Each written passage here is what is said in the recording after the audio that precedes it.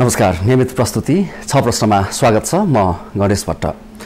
दर्शकवृन्द आजको छ प्रश्नमा हामी संस्कृति पर्यटन तथा नागरिक उड्डयन राज्य मन्त्री इन्द्रवानियासँग कुराकानी गर्दैछौँ। मन्त्रीज्यू स्वागत छ। धन्यवाद। र बधाई पनि छ यहाँलाई। तपाईँलाई पनि धन्यवाद। लगभग बाह्र तेह्र दिन कति भयो होइन? तपाईँ आज मन्त्रालय जानुभयो। पन्ध्र गते शपथ खाइएको आज कसरी कसरी बिते यी दिनहरू? अब यो बाह्र तेह्र दिनको बिचमा चाहिँ म अब तपाईँको जिल्ला शपथ खाएको दुई तिन दिनपछि जिल्ला गएँ। जिल्लाको अवस्था र चाहिँ अब पार्टी भेटघाट साथीभाइ अनि अब जनता र त्यहाँको अवस्था के छ र भूगोलमा के गर्न सकिन्छ म मन्त्री हुँदै गर्दा मकानपुर पहिला त म त्यही भूगोलबाट त्यही उसबाट मन्त्री भएर एकबाट होइन? एकबाट अब निर्वाचित भएँ। त्यसपछि त्यही ठाउँमा पर्यटनसँग पर्यटन नागरिक र संस्कृति मन्त्रालय होइन? सँग जोडिएका मेरो भूगोलमा के के हुन सम्भावना छ भनेर त्यहाँ बुझेँ। त्यसपछि तपाईँको पोखरा हुँदै पोखरा पर्यटन व्यवसायलाई भेटेँ त्यसपछि म्याग्दी गएँ म्याग्दीको एउटा जालपादेवी मन्दिरको चाहिँ के अरे तपाईँको उसको लागि सप्ताह कार्यक्रम छ त्यहाँ पुगेर अनि जिल्लाको सप्ताह भ्याएर अनि त्यसपछि काठमाडौँ आएको आज तेस्रो दिनमा काठमाडौँमा मन्त्रालयमा।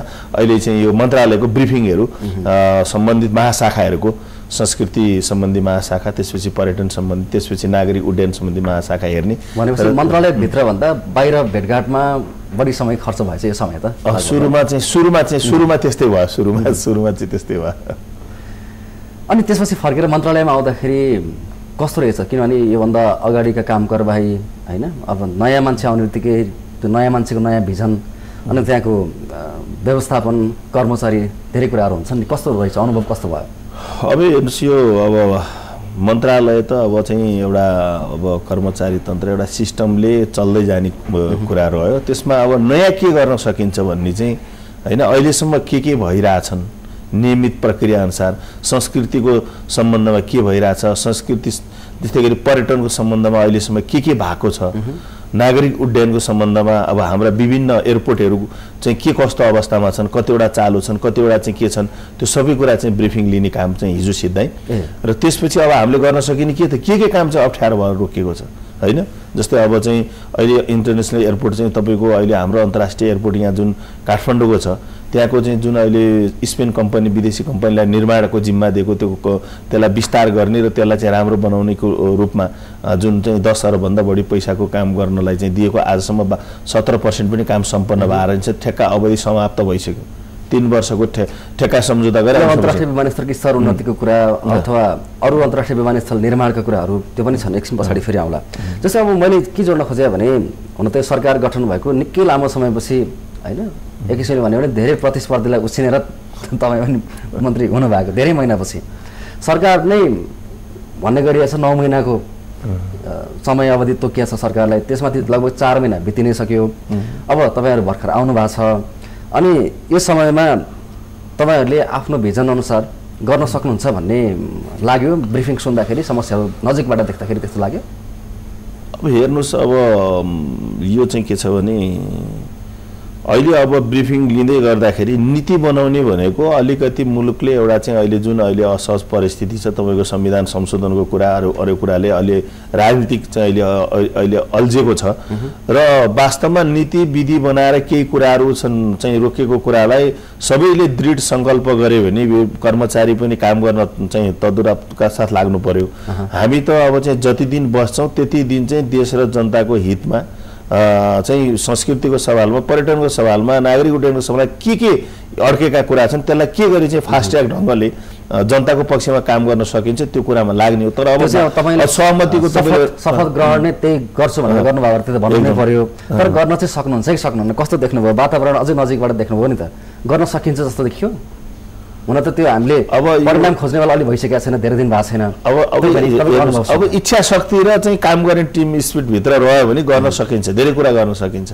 त्यो चाहिँ गर्ने मान्छेको जो चाहिँ मन्त्रालय सञ्चालन गर्नेले मन्त्रालयभित्रका असजिलो कुरालाई यसरी गर्ने भनेर एउटा चाहिँ दृढ विश्वास भएर अरू कुरामा नअल्झेर मन्त्रालयमा के के सुधार गर्न सकिन्छ हिजो नभएका कुरा के हो भएका राम्रा पक्ष के हो अब हुन बाँकी के हो होइन? त्यो कुरामा लाग्यो भने चाहिँ सकिन्छ नसकिने कुरा केही पनि अब तपाईँले यो आफ्नो कार्यकालमा म यो चाहिँ गर्छु भनेर सङ्कल्प गर्नुभएको केही कुराहरू त्यसरी बुदागत रूपमा छोटकरीमा भन्न मिल्ने त्यस्तो केही छ सङ्कल्प गरिसक्नु भएको।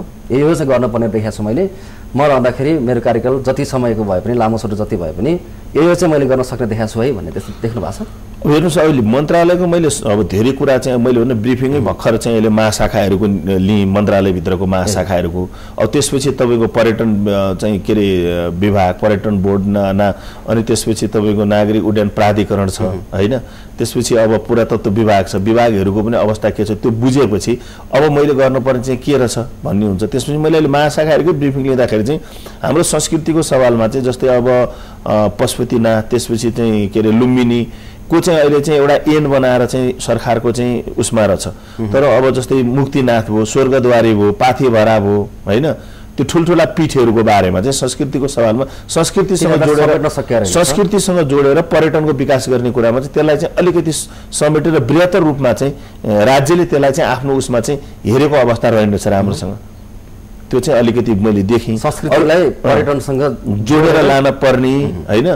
त्यसमा हाम्रो समृद्धि समृद्धि मैले देखेको छु। किनभने हाम्रो चाहिँ पूर्वी दर्शन जुन हाम्रो चाहिँ यो प्राचीनदेखि हिमाल र प्रकृतिसँग जोडिएका हाम्रा चाहिँ चाहिँ तपाईँको चाहिँ धार्मिक पीठहरू कि त्यो पीठहरूलाई देखाएर आज चाहिँ ठुलो चाहिँ हाम्रो चाहिँ जनमत भएको यतापट्टि चिन यतापट्टि भारत दुईटाको बिचमा नेपाल र हाम्रा यस्ता शक्तिपीठ छन् कि धेरैभन्दा धेरै चिनका मान्छेहरूको गौतम बुद्धको चाहिँ के छ भने लुम्बिनीमा आउन चाहन्छन्। धेरैभन्दा धेरै भारतीयहरू चाहिँ के छ नि पशुपतिनाथ र मुक्तिनाथको दर्शन गर्न आउन चाहन्छन्। त्यसलाई हामीले चाहिँ एउटा वातावरण बनाएर पर्यटकीय हिसाबले पर्यटकसँग हाम्रो प्रकृतिलाई जोडेर र हाम्रो चाहिँ यो पीठहरूलाई अलिकति हामीले बजेटको चाहिँ राम्रो व्यवस्था गरेर यसलाई राम्रोसँग गर्न सकियो भने नेपालको समृद्धि त्यहाँतिर पनि छ। त्यसपछि अलिकति चाहिँ अहिले चाहिँ अहिलेसम्म त्यताप्रति चाहिँ हाम्रो मन्त्रालयको ध्यान चाहिँ अलि ध्यानभन्दा पनि बजेटै कम। मन्त्रालयको नाम अनुसार संस्कृति पर्यटन नागरिक उड्डयन यति लामो नाम छ तर बजेट चाहिँ क्षेत्राधिकार पनि धेरै छ। संस्कृति पर्यटन हुँदै तपाईँले भन्नुभयो आन्तरिक बाह्य पर्यटनलाई पनि वृद्धि गर्नलाई अलिक बढी प्रवर्धन गर्नको लागि संस्कृतिलाई जोड्नु पर्दो रहेछ भनेर। तर अन्ततगत पर्यटन भनेपछि विदेशीहरू अथवा नेपालीहरू पनि घुम्न जानको लागि त फेरि सेवा सुविधा राम्रो वातावरण मैले किन यो कुरा जोडिरहेको भने नागरिक उड्डयन पनि जोडिया छ। अब अन्तर्राष्ट्रिय विमानस्थलको अभिगत हामीले अघि नै पनि थोर बहुत कुरा गऱ्यौँ। पोखरा विमानस्थल निर्माणाधीन छ के अरे जस्तै अब बाह्रको निजगढ विमानस्थलको कुरा पनि बेला बेलामा चर्चामा आउने सेलाउने गर्छ। यस्ता कुराहरूमा ध्यान दिन सकिला जस्तो लागेको छ कि छैन? अब तपाईँले भने जस्तो सबभन्दा ठुलो कुरा पहिला राजनीतिक चाहिँ स्थिरता मुलुकको विकासको लागि सबभन्दा पहिला राजनीतिक स्थिरता हुनु पर्यो। अहिले हाम्रो मुलुकको राजनीतिक अस्थिरताले मुलुकको चाहिँ सबै विकास र समृद्धि चाहिँ असजिलोमा परेको छ। जबसम्म राजनीतिक एकता सहकार्य र सहमति भन्ने शब्दमा भयो र व्यवहारमा आएन भने हामीले जतिसुकै समृद्धिको कुरा गरे पनि जतिसुकै सहकार्यको कुरा गरे पनि जतिसुकै एकताको कुरा गरे पनि केही हुनेवाला छैन। मन्त्री त आउने जाने यो विधि र नीति बनाउन नपाउने स्थायी किसिमको प्र हुनहुने। अहिले अब तपाईँको कसरी हुन्छ? अब अहिले संविधान ला चाहिँ एउटा मुलुकमा जारी भएको छ। त्यो संविधानलाई लागू गर्नलाई तपाईँको तिनवटा चाहिँ निकायको निर्वाचन हुनुपर्छ। तिनवटा निकायको निर्वाचन हुनलाई अब यो अहिले संसदको अवधि तपाईँको धेरै समय बाँकी छैन बाह्र चौध महिना बाँकी छ। यो अवधिभित्र तिनवटा निकायको निर्वाचन गर्न त अधिकतम चाहिँ सहमति हुनु पर्यो त्यसमा विशेष गरी काङ्ग्रेस एमाले माओवादी अझ थपेर भन्दाखेरि जस्तै एक किसिमले हामी सङ्क्रमणकाल भनिरहेछौँ संविधानको कार्यान्वयन मुख्य चुनौती छ। यो बिचमा जुनसुकै सरकार बने पनि अथवा जुनसुकै मन्त्री भए पनि ठोस रूपमा आउने जाने त भइरहन्छ। तर यो अथवा त्यो हुनुले खास अर्थ राख्दैन भन्ने थाहा हुँदा हुँदै पनि थाहा हुँदा हुँदै पनि जस्तो सांसद भइरहँदाखेरि मन्त्री हुँदा के फरक हुँदो रहेछ? मन्त्री बन्ने फेरि होडबाजी चलिरहेको हुन्छ नि त। मैले किन भने भने काम सके जति गर्न सक्दिनँ भन्ने पनि लागिरहेको हुन्छ। गर्न नसकिने पनि वातावरण त्यस्तै बनिरहेछ। राजनीतिक कारणले पनि यहाँकै कुरालाई मान्दाखेरि। फेरि पनि यो मन्त्री बन्ने होडबाजीमा फेरि किन मान्छेहरू लागिरहेछन्? त तपाईँ सांसद हुँदाखेरि गर्न नसक्ने मन्त्री भएर गर्न सक्ने त्यस्तो त हुँदो रहेछ केही पनि होइन? होइन होइन सांसद र मन्त्री चाहिँ तपाईँको फरक कुरा। संसद सांसद हुँदाखेरि संसदको भूमिका हुने हो। मन्त्री हुँदाखेरि राज्यको समग्र आफ्नो मन्त्रालयभित्र विगतमा के भएको छ के गर्न सकिन्छ एउटा अनुभव हुन्छ। अनि त्यसलाई कसरी चाहिँ गर्ने केही गर्न सकिन्न भन्ने चाहिँ त्यो अब निरा निराशावादीहरूको कुरा हो। केही गर्न नसकिने गर्न चाहिँ सकिन्छ। तर के छ भने वातावरण चाहिँ अनुकूल छैन। अनुकूल प्रतिकूल वातावरणभित्र अनुकूल व्यवस्थापन गर्नुपर्ने हुन्छ। त्यस कारण चुनौती छ। यस्तो चुनौती अवसरमा मन्त्रालयको जिम्मा पाउँदाखेरि चुनौतीभित्र काम गर्दाखेरि चाहिँ मान्छे अझै खरो रूपमा भोलिका दिनमा सहज बेलामा अझै गर्न सकिन्छ कि भनेर चुनौतीको बेलामा अब होडबाजी त हुन्छ तर मैले चाहिँ त्यो होडबाजी भन्दा पनि सहज रूपमा मन् मन्त्रालय पनि मन्त्री पनि सहज रूपमै पाएको त्यस्तो होडबाजीमा गएको होइन होइन? त्यस कारणले के छ भने चुनौतीमा काम गर्दा चाहिँ चुनौतीलाई चाहिँ अवसरको रूपमा केही गर्न सकिन्छ कि भन्ने चाहिँ यो बेलामा सङ्क्रमण बेलामा गरेको कामले चाहिँ मान्छे परिपक्व हुन्छ भन्ने लाग्छ मलाई। मैले सांसद र मन्त्रीको तुलना चाहिँ किन गरेँ भने जस्तै आफ्नो क्षेत्रको विकास हरेक सांसदहरूले गरिदिने हो भने आफ्नो क्षेत्रमा विकास गरिदिने हो भने त। राजनीतिक अस्थिरता जति नै भए पनि देश त एक खालको विकासमा गइरहेको हुन्थ्यो तर सबैको ध्यान चाहिँ राजनीतितिरै केन्द्रित हुँदाखेरि यस्तो अवस्था हो कि भनेर। त्यस्तो लाग्दैन?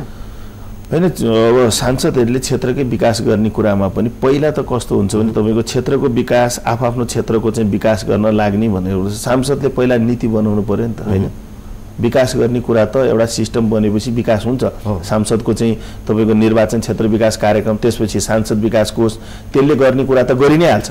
तर पहिलो कुरा त हाम्रो चाहिँ विधि जुन हामी एउटा चाहिँ सङ्घीय लोकतान्त्रिक गणतन्त्रमा प्रवेश गरेका छौँ प्रवेश गरेर संविधान जारी गरेका छौँ संविधान जारी गरेको लागू गर्नु परेको छ पहिला सिस्टम व्यवस्थापन नभइकन विकासको कुरा गर्दाखेरि यो चाहिँ चाहिँ हामीले चाहिँ जुन अहिले चाहिँ जारी गरेको संविधान सङ्कटमा पऱ्यो भने मुलुक कहाँ जान्छ?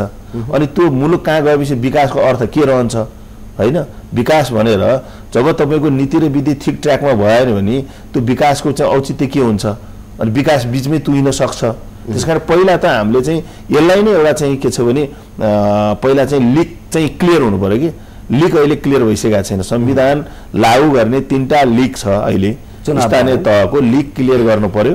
त्यसपछि अनि अरू कुरा त तपाईँको अनि एउटा इस्टाब्लिस चाहिँ एउटा चाहिँ एउटा स्थिर गभर्मेन्टको अवस्था आउँछ। संविधान सम्मत यो अब चाहिँ निर्वाचन भएपछि त्यो गभर्मेन्ट चाहिँ अढाई वर्षसम्म त्यसलाई चाहिँ हटाउन मिल्दैन अविश्वास गर्न मिल्दैन भन्ने। संवैधानिक व्यवस्था संवैधानिक व्यवस्था छ। अहिले त छ छ महिनाभित्र राख्न पाउने अवस्था छ सङ्क्रमण अवस्थामा अहिले। त्यस कारण त्यो बेलामा कमसेकम अढाई वर्ष जो जसले सरकार हाँक्दा पनि त्यो सरकारले अढाई वर्ष राम्रोसँग काम गर्न पाउँछ।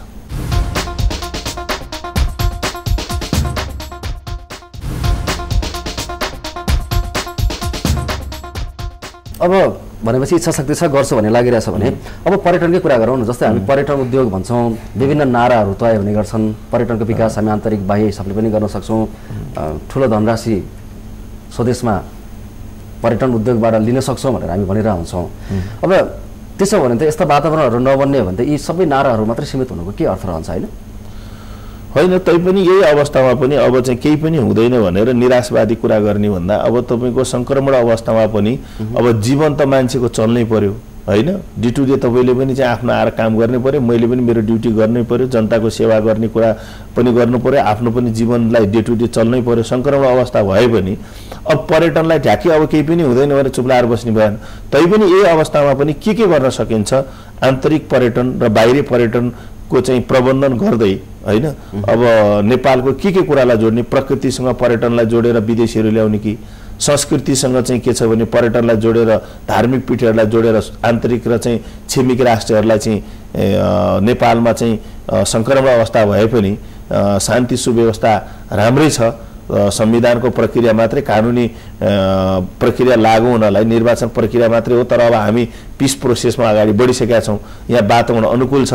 भनेर चाहिँ त्यो किसिमले पनि हामीले चाहिँ तपाईँको अब चाहिँ चाहिँ यो पर्यटक भ्रमण वर्ष दुई हजार त्रिहत्तर भनेर घोषणा गरेर त्यसलाई अगाडि बढाउन सक्नु सक्ने बढ्ने अवस्था पनि छ त्यो तयारीमा हुनुहुन्छ एकदम एकदम हामी तयारीमा छौँ। भनेपछि यो विषयमा यथेष्ट छलफलहरू मन्त्रालयभित्र पनि अनि सरकारहरूसँग पनि। भइरहेछ एकदम भइ अहिले चलिरहेछ अहिले पर्यटन बोर्ड लागिरहेछ त्यसपछि टुरिज्म एन्ड ट्राभल्स व्य- व्य- व्यवसायहरू पनि त्यसै गरी चाहिँ अब अगाडि बढिरहेछन्।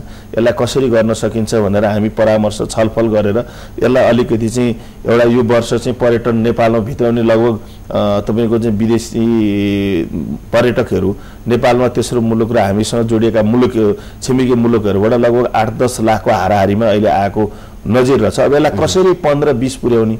बिस पुग्दाखेरि त्यसै गरी भोलि पर्यटन आउँदै गर्दाखेरि यो पर्यटनको चाहिँ आउँदाखेरि नेपालको अर्थतन्त्रमा अलिकति चाहिँ सकारात्मक असर पर्दै जान्छ। त्यस कारण हामी यसलाई चाहिँ त्रिहत्तरलाई चाहिँ पर्यटक भ्रमण वर्षको रूपमा लिएर जाने कि भन्ने एउटा चाहिँ हाम्रो तयारी छ।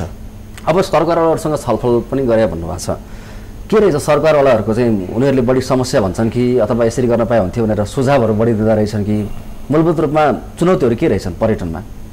पर्यटनको अब हेर्नुहोस् चुनौती त अब सबभन्दा चुनौती भनेको हाम्रो चाहिँ के छ भने स्थिर अवस्था यो चाहिँ तपाईँको चाहिँ के छ भने शान्ति सुव्यवस्था र चाहिँ यो चाहिँ तपाईँको के छ भने सुरक्षा।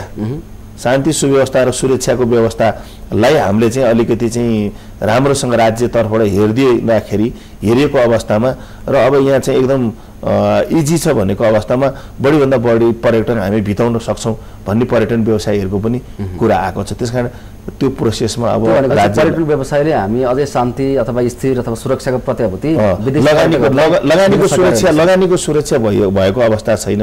र चाहिँ आउने पर्यटकको अलिकति सुरक्षित वातावरण छ भन्ने कुरा हामीले विश्वास दिलाउन सकेको छैन। त्यो अवस्थामा चाहिँ त्यो विश्वास दिलाउन समृद्धिको एजेन्डामा मुखमा होइन व्यवहारमा सबै चाहिँ पार्टीहरूले भइदिए अझै राम्रो हुन्थ्यो त्यो कुरा वातावरण बन्दै हुन्थ्यो भन्ने चाहिँ व्यवसायहरूको कुरा छ। फेरि सबै कुरा गरेर त्यही राजनीतिमै गएर ठोकिने होला होइन? ठोकिन त अन्त्य सबै नीतिको प्रधान राजनीति हो। होइन? राजनीतिमै गएर त ठोकिने त हो नि राजनीति ठिक भएन भने सबै कुरा बेठिक हुन्छ नि। तपाईँको भोलि चाहिँ चौथो अङ्ग सञ्चार बेठिक हुन्छ त्यसपछि स्वास्थ्य बेठिक हुन्छ सुरक्षा बेठिक हुन्छ सबै कुरा बेठिक हुन्छ शिक्षा बेठिक हुन्छ। राजनीतिले सबै कुरालाई नीतिको प्रधान राजनीति हो। राजनीति ठिक ठाउँमा आएन भने त सबै नीतिहरू त सङ्कटमा परिहाल्छन्। अब राजनीतिकै कुरा गरौँ अलिकति। जस्तै अहिले जल्दो बल्दो संविधान संशोधनको कुरा चलिरहेछ। तपाईँ नेपाली कङ्ग्रेसबाट प्रतिनिधित्व गर्नुभएको कारणले गर्दा कङ्ग्रेसले पनि यो संशोधनको विषयमा औपचारिक धारणा अहिलेसम्म ल्याउन सकेका छैन भनिरहेछन् पार्टीगत रूपमा। अब यो प्रक्रिया कसरी अगाडि बढ्छ? संविधान संशोधन विधेयक जो दर्ता भएको छ अब हेर्नुहोस् यो संविधान संशोधनको चाहिँ विधेयक चाहिँ संसदमा अब यो मधेसवादी दलहरूको पनि अब यो यो यो देश चाहिँ हिमाल तराई पहाड सबै मिलेर सबै नेपाली भएर यो देश चाहिँ नेपाल भएको हो। अब पहाडको मात्रै चाहिँ तपाईँको चाहिँ नेपाल अब चाहिँ हिमालको मात्रै नेपाल तराई चाहिँ नेपाल होइन भन्ने कुरा आएन। त्यस कारण तराईका केही कुराहरू चाहिँ आएका छन्। त्यसलाई संशोधन प्रस्तावको रूपमा चाहिँ तपाईँको संसदमा पेश भएको छ। त्यो संशोधन प्रस्तावलाई परिमार्जित यदि अरू अन्य अहिले एमालेको चाहिँ एमाले पार्टीका साथीहरूले यसलाई अलिकति ठुलो रूपमा राजनीतिक रूपमा अगाडि बढाएका छन् राजनीतिकरण गर्न खोजेका छन् तर के यसलाई चाहिँ परिमार्जित केही कुराहरू चाहिँ परिमार्जित परिमार्जित गरौँ गर्न सकिन्छ। गर्न सकिन्छ। गरेर भए पनि स- यो चाहिँ अहिले चाहिँ आएको संशोधनलाई व्यवस्थापन गरेर निर्वाचनको दिशामा अगाडि बढौँ भन्ने चाहिँ काङ्ग्रेसको धारणा हो। के के गर्दा सहमति हुनुपर्छ? अब त्यो हामीले भनेकै सबै कुरा लागु हुँदैन। एमालेका साथीहरूले हुँदैन। मधेस केन्द्रित दलहरू पनि बसेर के के गर्न सकिन्छ परिमार्जन गरौँ भन्ने पक्षमा कङ्ग्रेस अथवा तपाईँ एकदम एकदम। काङ्ग्रेस अझै यो संशोधनलाई पनि परिमार्जित गर्नको लागि मधेसवादीसँग वार्ता गरेर एमालेको साथीहरू आउनु परिमार्जित गरेर जान पनि काङ्ग्रेस तयार छ। निकास हो। काङ्ग्रेसको एउटै कुरा के हो भने निकास। निकास दिनु पर्यो मुलुकलाई एउटा चाहिँ निकास दिएर विकासको बाटो र समृद्धिको बाटोमा अगाडि बढ्नु पर्यो भने हाम्रो स्पष्ट धारणा छ। अनि निर्वाचनको विषयमा निर्वाचन घोषणा गर्न सरकार अलि ढिला सुस्ती गरिरहेछ। त्यस सम्बन्धी हुन त निर्वाचन सम्बन्धी विधेयकहरू पनि अब छिटै हामी जति बाँकी छ लैजान्छौँ भनेर प्रधानमन्त्रीले बोल्नु भएको रहेछ निर्वाचनको विषयमा चाहिँ के कुरा भइरहेछ? पार्टीभित्र र चाहिँ अन्य कुरा गर्दाखेरि अहिले म मन्त्री मण्डल क्या क्याबिनेटबाट तत्काल निर्वाचनमा जानमा एकदम चाहिँ मनस्थितिमा सरकार छ। इमिडिएट निर् निर्वाचन घोषणा गर्ने तयारीमा छ। तर असहमतिको बिचमा निर्वाचन घोषणै गर्दा गर्दा के होला? त्यस कारणले चाहिँ यसलाई कमसेकम अधिकतम सहमति जुटाउँ। एमालेलाई नै निर्वाचनमा सहमति गराएर लान सकिएन भने फेरि त्यो निर्वाचनले कतिको अर्थ राख्ला। त्यस कारणले चाहिँ कमसेकम सहमति गरेर निर्वाचन घोषणा गरौँ भन्ने हो। निर्वाचनको त सबै तयारी अवस्थामा छ। एक वर्ष डेढ वर्ष बितेर गयो भने त त्यसपछि त गम्भीर खतराहरू आउँछ भनेर त्यो खतरा सबैले भोग्न तयार हुनु पर्यो। अब त्यो गम्भीर खतरा आउँछ भन्ने कुरा सबैलाई थाहा छ भने त्यो खतरा काङ्ग्रेसले मात्रै भोग्ने होइन एमाले मात्रै भोग्ने होइन माओवादीले मात्रै भोग्ने होइन। र विशेष गरी काङ्ग्रेसले मात्रै भोग्ने होइन त खतरा भोग्न सबै तयार हुनु पर्यो। खतराबाट बच्नको लागि त चाहिँ विन विनको अवस्थामा सबै तयार भएर आउनु पर्यो नि त। त्यसमा विशेष गरी एमाले तयार भएर आउनु पर्यो। होइन सरकार र जनताको समस्या चाहिँ के अरे चाहिँ निकास फरक कुरा हो नि त। सरकारमा त आज एउटा चाहिँ एउटा सहमतिको नेतृत्व होला भोलि अर्को सहमतिको नेतृत्व होला। सरकारभन्दा पनि जनतालाई निकास दिने कुरा ठुलो हुन्छ। त्यस कारण निकास दिनलाई राजनीतिक सहमति चाहियो। सहमति अलिकति जुट्ने बित्तिकै सरकार चाहिँ निर्वाचनको प्रक्रियामा अन्तिम प्रक्रियामा पुगेको अवस्था छ। निर्वाचन चाहिँ चाँडो गर्न सरकार तयार छ। यो बाह्र चौध महिनाभित्रमा सबै निकायको तिनटै निकायको निर्वाचन गर्न सरकार एकदम चाहिँ त्यो मुडमा छ। भनेपछि सहमति चाहिँ कुरेर बसेको छ कुरै होइन। सहमति गर्न एकदम तीव्र गतिमा लागेको छ। सहमति गर्न सरकार र विशेष गरी नेपाली काङ्ग्रेस पार्टी चाहिँ विशेष गरी तीव्र रूपमा शेरबहादुर देउवा हाम्रो आदरणीय पार्टी सभापति तीव्र रूपमा तपाईँहरू मिडियामा हेरिरहनु भएको छ तीव्र अभियान दौडा छ। तीव्र देखिएन पार्टी सभापति? तीव्र देखिया छैन। तीव्र लाग्नु भएको छ। अब त्यो तपाईँहरूले चाहिँ देख्ने नदेख्ने मिडियाले मैले चाहिँ देखाएको छु कि तीव्र रूपमा लाग्नु भएको छ। कसरी हुन्छ? चाँडै। यो अहिले चाहिँ सिस्टमलाई चाहिँ व्यवस्थापन गर्नुपर्छ नत्र भने यसले चाहिँ हाम्रो सङ्घीय लोकतान्त्रिक गणतन्त्र नै सङ्कटमा पर्छ कि भनेर सबभन्दा चिन्तित मैले अहिले चाहिँ हाम्रो आदरणीय पार्टी सभापति लागेको मलाई महसुस भएको हुन्छ व्यवहारमा त्यो देखियोस्। अब अन्त्यतिर आइपुगेका छौँ फेरि मन्त्रालयतिर फर्केर हेर्दाखेरि छोटकरीमा यो बताइदिनुहोस् हुन त तपाईँ अघि भनिसक्नु भएको छ क्याबिनेट मन्त्री होइन। राज्य मन्त्रीहरूले क्याबिनेट मन्त्रीले जस्तो आफूले चाहेका कामहरू राम्रोसँग गर्न सक्दैन अलि बढी चेपुवामा पर्छन्। यता कर्मचारीले यताबाट चेप्ने यता यता मन्त्रीज्यूले चेप्ने काम राम्रोसँग गर्न सक्दैनन् भन्ने गुनासोहरू हामीले योभन्दा पहिला पहिला सुन्ने गर्थ्यौँ अहिलेसम्मको अनुभवको आधारमा तपाईँले अब मेरो कार्यकालमा म छोटकरीमा यो सुधार चाहिँ गर्न सक्छु कि भन्ने लागिरहेछ गर्छु भनेर हाम्रो दर्शक सामु प्रतिबद्धता जनाउन सक्ने खालका केही छन् भने। अब हेर्नुहोस् पहिला कुरा अब राज्य मन्त्री र चाहिँ के अरे चाहिँ मन्त्रीको फुल मन्त्रीको बिचको कुरामा अब हाम्रो मन्त्रालयमा त्यो सङ्कट छैन। एकदम स्पष्ट छ। हामी एकदम चाहिँ दुईजनै अब नेपाली काङ्ग्रेसबाटै निर्वाचित होइन? उहाँ हुम्लाबाट म मकानपुरबाट निर्वाचितै छौँ र हामी दाजुभाइको व्यवहार छ र चाहिँ कसरी काम गर्ने भन्ने कुरामा सल्लाह गरेरै काम गर्ने अगाडि बढिरहेको छ। र मन्त्रालयभित्रको अहिलेसम्म भएको मैले अघि पनि तपाईँलाई भने मन्त्रालयभित्र हालसम्म गरेका गतिविधिहरूको बारेमा ब्रिफिङ लिने र त्यसमा के गर्न सकिन्छ भनेर हामीले एउटा चाहिँ एउटा भिजन अहिलेसम्म क्लियर निकाल्न सकिरहेको अवस्था छैन किन मैले भने भर्खर म तेह्र दिन भयो। अब क्लियर अवस्था आयो भने फेरि कार्यकाल जाला नि कार्यकाल त अब तपाईँको बुझेर त्यसलाई एउटा चाहिँ कमसेकम केही न केही नयाँ हाम्रो कार्यकालमा केही न केही नयाँ कुरा भयो भन्ने अनुभूति दिलाएर मात्रै हामी जान्छौँ होला। केही न केही अनुभूति फलानुको कार्यकालमा चाहिँ के छ भने यो मन्त्रालयमा मन्त्री र राज्य मन्त्रीको कार्यकालमा पाँच महिना र नौ महिना जति महिना हुन्छ तपाईँको भोलि नौ महिना होला कि दस महिना होला कि निर्वाचन एउटा चाहिँ एउटा समझदारीमा चाहिँ सरकार बनेको छ फेरि त्यही समझदारीमा अर्को ऊ होला होइन? तर हामी जति दिन रहन्छौँ त्यति दिनमा यो मन्त्रालयमा केही चेन्ज भयो। होइन केही कुरा चाहिँ नयाँ कुरा आयो भन्ने चाहिँ अनुभूति चाहिँ देश र जनतालाई हामी दिन चाहन्छौँ र दिन्छौँ भन्ने हामीलाई दृढ विश्वास छ। हुन्छ हस् यहाँको महत्त्वपूर्ण समय अनि यो महत्त्वपूर्ण प्रतिबद्धताको लागि यहाँलाई धेरै धन्यवाद छ। तपाईँलाई पनि मलाई पनि यहाँ बोलाएर तपाईँको टिभीमा आफ्नो कुरा राख्न दिनुभयो।